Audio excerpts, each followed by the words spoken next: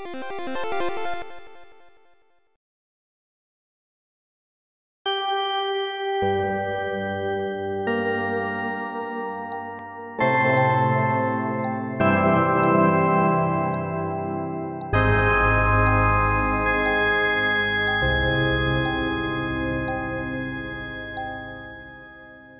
Ciao a tutti, ben ritrovati con Outcast e Sala Giochi, io sono Andrea Maderna e quello che state ascoltando è eh, un podcast che fa da metà di un double bill, per così dire, di una doppia offerta che vi proponiamo oggi, eh, 23 gennaio 2020, per accompagnare la doppia uscita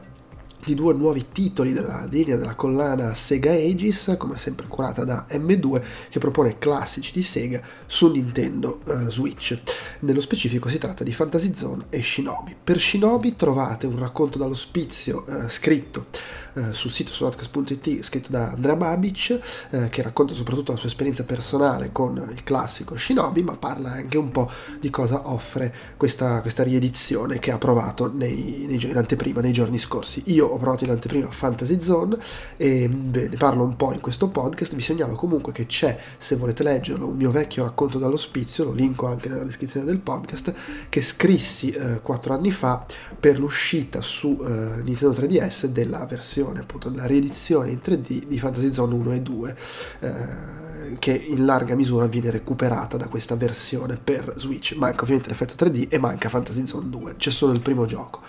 Fantasy Zone, per chi non lo conoscesse, è uno dei primi Qt up, se vogliamo, sparatutto eh, arcade eh, puffettosi, puccettosi, allegri, eh, prodotto appunto da Sega, era un coin op, eh, poi convertito su Master System e anche su altre console, tra l'altro invece Fantasy Zone 2, così come curiosità, nacque su Master System e arrivò poi anche in sala giochi, ma questo appunto è solo Fantasy Zone e la versione che si trova qua eh, è la, la versione, il gioco arcade, insomma una riedizione ripulita, quel che vuoi, del gioco arcade Arcade, che include più o meno tutte le opzioni che c'erano nella versione per 3DS, a parte appunto il 3D, quindi ci sono i piccoli accorgimenti in termini di qualità della vita, tipo eh, la possibilità di eh, avere di accumulare soldi da usare nel negozio a piacere, tipo il radar che indica la posizione delle basi, eh, però diciamo nella modalità classica il gioco è più o meno quello solito, Certo, si può scegliere da che livello iniziare, cosa che aiuta abbastanza perché Fantasy Zone era un gioco abbastanza bastardo, una specie di defender in cui bisognava, ci poteva muovere liberamente verso destra e sinistra, bisognava distruggere delle basi, una volta distrutte le basi c'era il boss, fatto fuori il boss si completava il livello e l'ultimo livello era un boss rush con tutti i boss affrontati di fila e poi il boss finale. Io ricordo che su Master System non sono mai riuscito a sconfiggere il boss finale, va anche detto che dovevi rigiocartelo ogni volta da capo, qua puoi ripartire direttamente dall'ultimo livello e già è diversa la faccenda. Oltre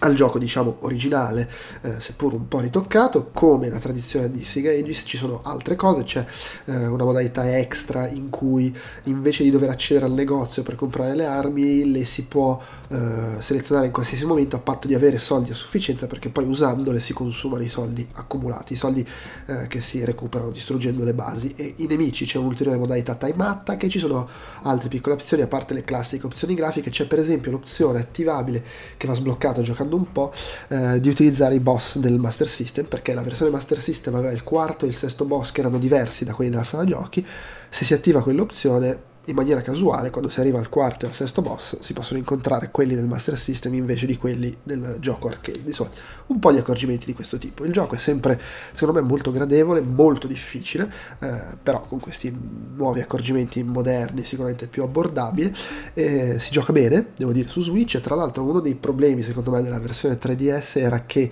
eh, era un po' piccolo, onestamente, lo schermo del 3DS per il tipo di grafica che aveva Fantasy Zone, che era comunque piccolina, se vogliamo, come dimensione degli sprite rispetto allo schermo. E su 3DS era un po' difficile giocare bene, specie considerando poi quanto a tratti Fantasy Zone sapeva essere bastardo. Eh, in, mentre su Switch già in versione portatile si gioca, devo dire, molto bene, figuriamoci poi con